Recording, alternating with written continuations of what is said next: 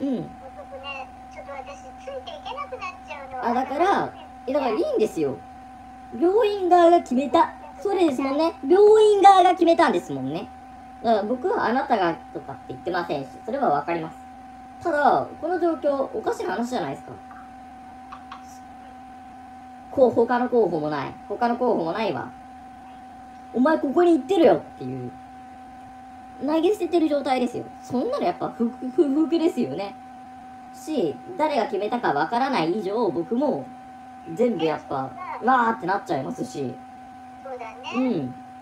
そうですよ実際ってなっちゃう。あなたのまあちょっと待ってね。えっとあなたの意思でできるかどうかのなんかテストをするとかその障害認定のところも一回見直した方がいいかもね。あなたの意思違う違う障害認定ってえ違うんすよ。障害認定されなかったら、うん。制度もあの制度も何も使えなくなっちゃうの。え俺障害児じゃないってことですか？これ何なんですか、障害じゃないんだったら障害認定外してうん。じゃあ普通うん、に無理でしょ。無理でしょそれは。それはちょっとちょっとよろしくないと思うよ。障害じゃないって言うんだったら。は？何何が言いたいの？障害じゃないってどういうこと障害じゃないってあなたが言ったんだよさっき。言ってないっすよ。それは言ってないっすよ。えそれななんで言ったんすか？いつ言いました？ごめんなさい。いつの流れで言いました？だからさもうもういいです。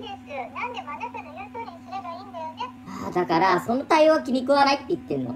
その返しが呆れてるじゃん。はーとか。はーってため息ついてる以上呆れてるじゃん。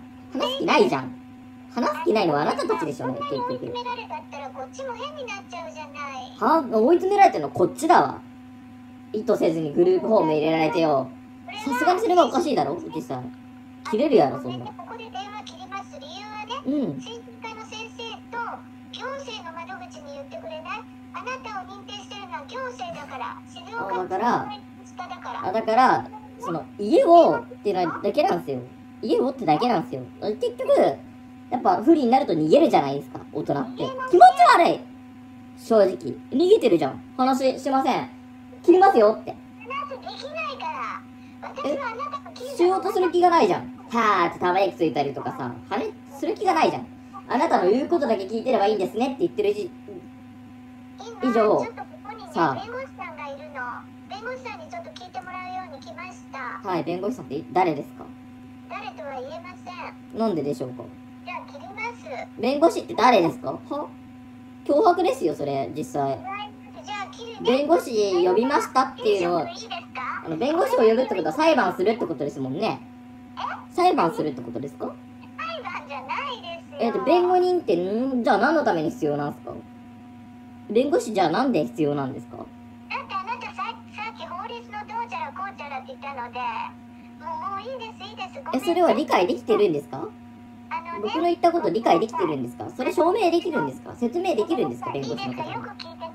はあのねみんなのセンターでそんどうでもいいんだをよ俺からしたら。応援することは今後あのもうできないのでごあのやめますね。うん、うん、俺かかってきたから知らないよ。うん、うん、俺かかってきた身だから知らないよ。それは。ただ代打はちゃんと作ってもらわないと困るよ。最後の仕事ね。代打代打って何？え次の人。あのね代打を探しました。あそう。誰？あのねえっと精神科に併設されている相談センター。でもね治療してない方のご相談は受けられませんと言われましたので。治療してないってなんだよ。治療ってなんだよまず。え薬を飲むことっすか？あのねなんすか？あなたもねはい生活保護の制度を受ける権利であれば義務は果たさなきゃいけないの。あじゃあ義務は果たしてるじゃないですか。金本さんに聞いて。あ義務ってなんすか？の権利にはまあごめんなさいね。もうお金持ってないことですか？お金は持ってませんよ。財産ないですよ。そういうことですか？